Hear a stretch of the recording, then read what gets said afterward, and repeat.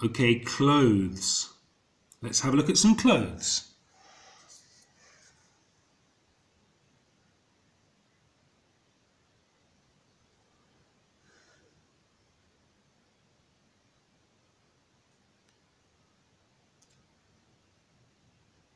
Okay, so do you know the name of these clothes in English?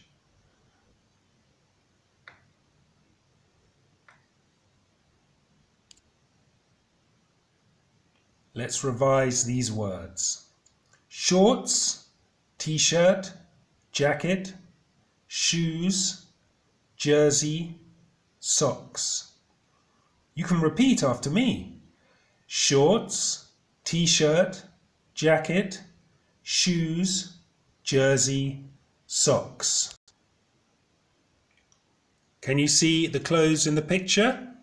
So we have the shoes at the top, the jersey, and then the jacket. Shoes, jersey, and jacket. Mike's wearing a t-shirt, socks, shoes and shorts. You can just see the socks, look. Can you just see them?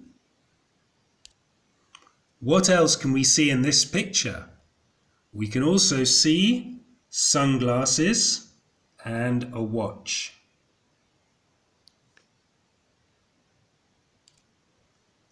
Sunglasses and a watch. Okay, students, just to finish, don't forget to revise the words of the topic past, present, future, days of the week, Monday, Tuesday, Wednesday, Thursday, Friday, Saturday, and Sunday.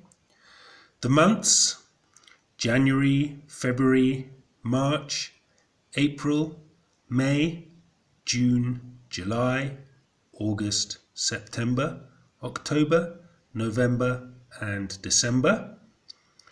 The years last year was 2019. This year is 2020 or 2020. Next year, 2021 or 2021.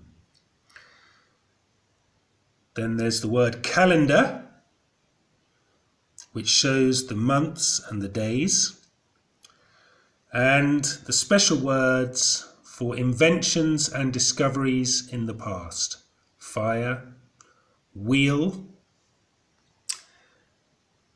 metal tools, or wooden tools too, bridge, castle, and other buildings.